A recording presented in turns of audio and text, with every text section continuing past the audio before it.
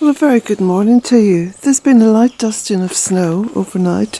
It's been very, very cold over the past few days. And um, just going to have a little bit of a walk around, let you have a look. The daffodils are still showing, and the muscari are. So I've been outside working. Give me a challenge. You know, the colder it gets, the more I wrap up warm and get out there and uh, work. So I've been planting and I've been taking a lot of the shrubs and plants that I had in pots that had outgrown the pots and I've put them into the ground. So I'm going to show you first of all just um, the new view that's opened up since I have taken down the old pampas grass which was just over here and I'll just show you that now in a moment. We'll just walk here to the Laurel Arch. And I'll turn around now and have a look. So there you go, there's actually a far better view. Um, the vista takes you all the way through to Kilronan Mountain there. Um, that pampas grass had got huge, most of it was dead, and um, it served its purpose uh, when I planted it 15 and a half years ago uh, you might be able to see the tiny version of it on that photograph that I took with my mother in it, which is both on Facebook and on Twitter. Um, but anyway, 15 and a half years down the line, it's now past its best and uh, it's going to make room for something else. So, possibly a shrub. Not too sure what kind of a shrub yet, but I'm sure I'll be inspired at some point. So now you begin to see this wonderful woodland. Um, in fact, when I took that photograph of my mother, she was standing, let me see now,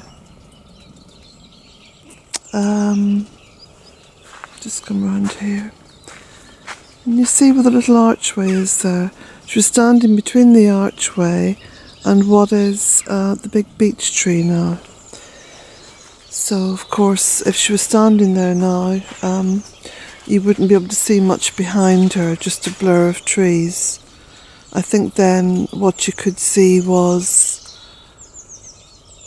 what had been uh, the rushy land, which I had spent a long time strimming and then I mowed that, and so I turned it into a fairly grassy um, field, and that's then when I started to plant.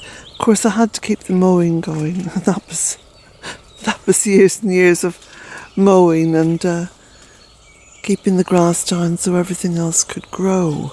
Very important because grass and rushes cut off the life support to many of the young trees and shrubs trying to grow. So it's very important to keep that grass and rush down, which is very laborious and very hard work. However, it's kept me fit. So, um, let me just take you over here. So the tunnel is covered with snow this morning. There's a little bit of a thaw going on, as you can see from the drips coming down from the arch here. And the birds are singing, and the shoots are still popping up everywhere, and the flowers are coming up, and buds are forming. So, spring cannot be stopped, even with the severest setbacks and you can see there's this beautiful haze. There's like a haze of green happening everywhere where buds are beginning to form and open up. It's a very magical time of year. It's a very special time of year, and no wonder my ancestors celebrated it with the festival of Imbolc. It was a great welcome, welcome back to the rising of the earth goddess.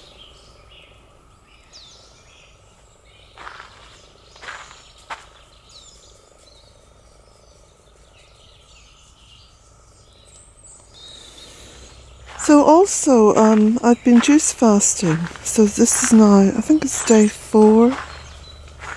Day four.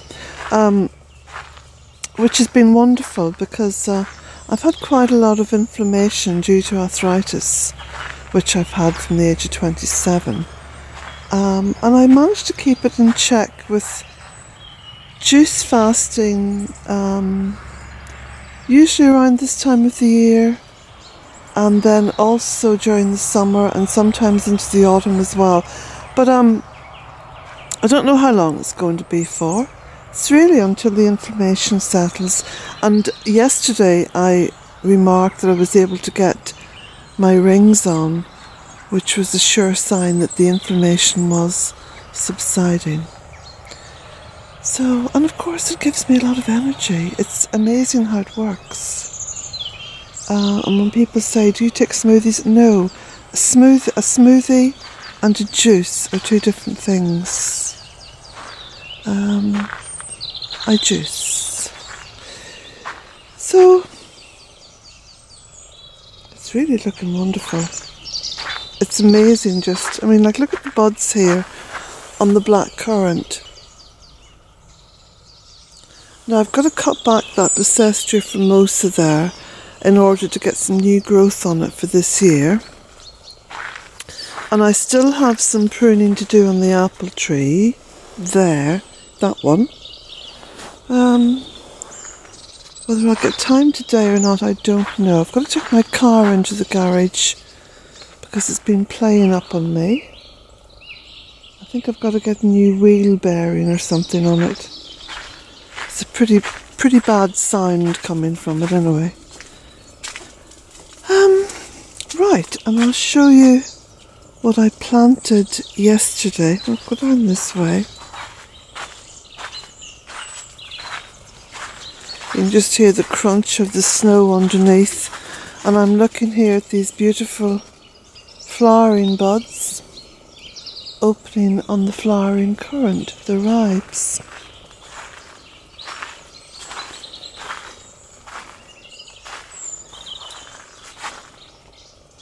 I think this time of year excites me more than any other time because it's just filled with promise. And uh, the small setbacks, which seem to come and go, um, are just to be expected. That's how spring has always been. Just looking up there as well at the beautiful buds and just beautiful. So, up here in this space, I planted the Photinia, the red robin. Here we go. Now that was in a pot, I'll show you the pot in a moment. And uh, it had outgrown the pot, the roots were starting to come through. So I thought, okay, I'm going to free up all these pots now and uh, pot them up with some nice summery things. So I've got two more pots of, uh, these are both Cotoneasters, but they're different ones that I've grown from seed. This is the upright cotoneaster, which grows into almost like a small tree or a very large shrub. And this is the cotoneaster, um, which likes to grow up along walls or will grow freestanding um, into a beautiful kind of arching bush, which is gorgeous.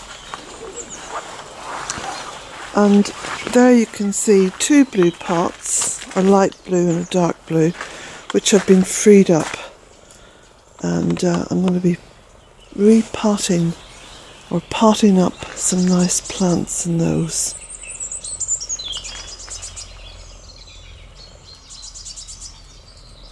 So we'll have a little dander around the front of the cottage. I'm just having a little look at all that I've all that I've done thus far. See the raindrops there, just on the just on the hawthorn.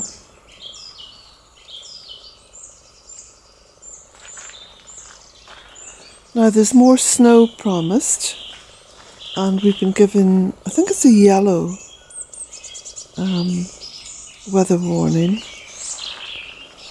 But that's okay. As I say, it's only ever to be expected at this time of year. Yeah, I've potted up um, this Mahonia. So I'm going to grow that on the pot until it's much bigger and then plant it out. This is what I've done all the way down the almost 16 years of Bealtaine. Um, do you remember when these were in pots? Look how big they are now. There's something else there in the pot. That's a little box, not so little. So that will be planted out as well. It's actually a lovely way of gardening because you get to appreciate the plants when they're small. And then um, when you plant them out then they're quite substantial. Now look, look at the aquilegia there. You see just coming up. Got lots and lots of aquilegia coming up all over the place.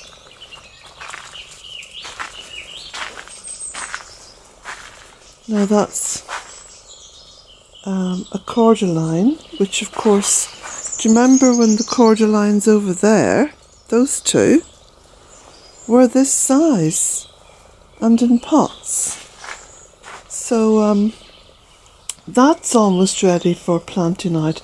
That's at least doubled its size since I put it in that pot. And it's also got a little bit of Jacob's ladder growing up in there because you see I used the compost from my compost heap, which is absolutely filled with seeds. Because that's what you get when you cold compost. Now, I need to do a little bit of cutting back of the bamboo, which again makes fantastic food for the earth. Um, there's something else in the pot which I'm going to be planting out, and this is a purple beech, and it's got some honesty growing around it. And again, because I've used compost from my compost heap. And this little Serbian spruce. Now I planted the other one. I think, I've, yeah, two of them. I planted the other one down on the other side of the fairy wood. I did that uh, day before yesterday, I think. And there's the sun shining. I mean, this is, like I say, dipping in and out of the weather. Dipping in and out of the season. You look out the window in the morning, you think, oh, has winter come back? Then you hear the bird song and you realise, of course, it hasn't come back. This is spring, and this is how spring goes. She can never quite make up her mind whether she's coming or going.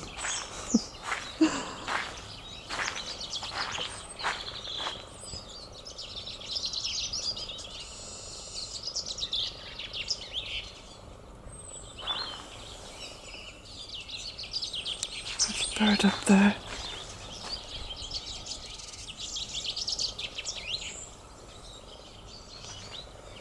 Wow, what a beautiful sight.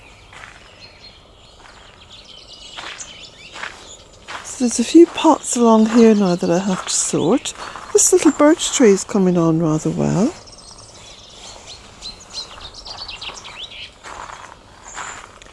So I've got a big of bamboo there, which might be a wee bit difficult to get out, but I'll have to have a go at it.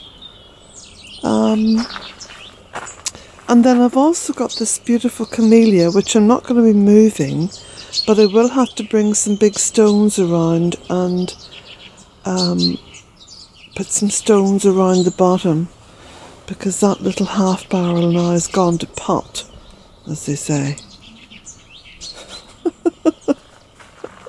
Reminds me of my mother.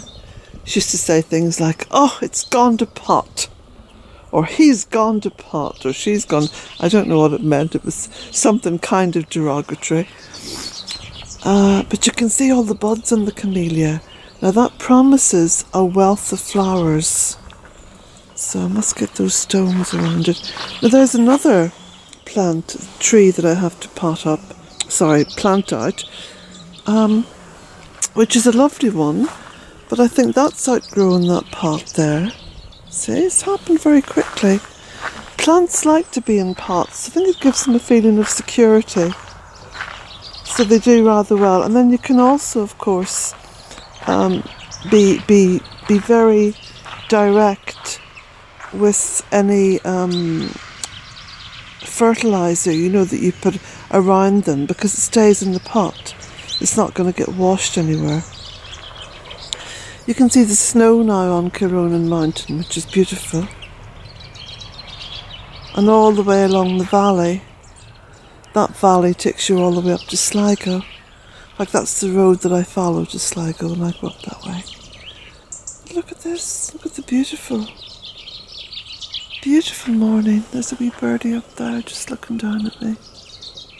Yeah, little birds all the way through the trees. And the sun now it's quite strong.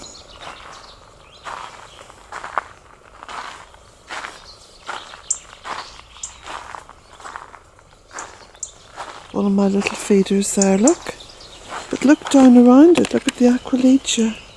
Little clumps of it coming up through the gravel. Seems to like the gravel. So, on this beautiful, beautiful morning here in the west of Ireland at Bealtaine Cottage, I wish you all a lovely day, a happy day, a productive day, a calm day, and, you know, don't angst too much about the things that you cannot change. I had this little tribulation yesterday on Facebook. I keep trying with Facebook um, because I know that so many people actually enjoy going on there and seeing the photographs and you know I do little live streams and stuff you know. And it's very much appreciated by so many people. But there are fundamentalists and of course I hear you say oh you mean Christian fundamentalists? No I don't. No I don't. I mean fundamentalists. You find them in all walks of life. Um, Christian fundamentalists are very easy to, you know, deal with. Um, it's the fundamentalists, you know, who are political fundamentalists, environmental fundamentalists, and they want to argue and they want to pick the bones off you and they want to just keep picking and picking and I suppose they're sat there, you know, keyboard warriors, not doing an awful lot um, quite impotent in their own lives in terms of their willingness to change anything. So they just, um, you know, become quite radical and non forgiving and black and white and fundamentalist. And people like me, I suppose, are, are just there to be derided and attacked. So I keep blocking and banning. Goodness me, I don't know how many people have blocked and banned on Facebook. and it gets to me for a short while, and then afterwards I think, oh, this is just ridiculous. So then I take a few days, I sort of uh, don't bother with Facebook for a while, and then I go back on. And, you know, because at the end of the day, my personality is that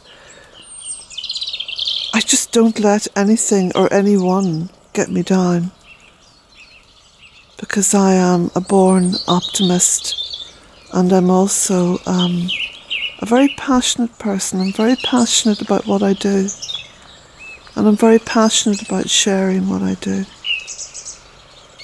And uh, I know that it actually brings, you know, a lot of hope to people. Um, so I'm quite happy to, to, to share all this and to keep sharing. And believe you me, um, I won't be I won't be put off. And uh, what's that old saying? Don't let the buckers cut you down. well, I don't. I don't. No. So, um, going to get myself into the shower now and uh, have a good old scrub and wash my hair and uh, get my books. I've just only got a, there's only a few orders. I post Monday, Wednesday, and Friday, by the way. And uh, there's only a few orders today, but it, will be an excuse to drive over to the post office uh, in Ballyfarnan and then call into the garage and see if Frank, the, my mechanic, can sort out the car.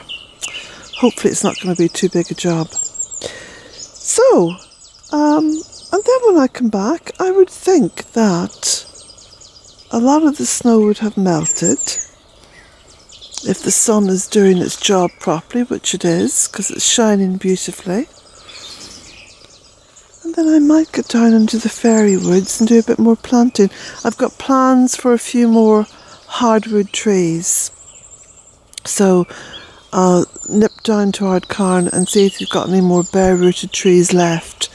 And I shall buy a few of those and uh, get them planted. So, once again, because I've gone off at a tangent. Blessings to you all and have a beautiful day. Have a beautiful day. Don't let anything get you down. Your life is too precious. Your journey is too sacred to even be bothered with people who are going to pull you down. Just don't. Blessings to you all.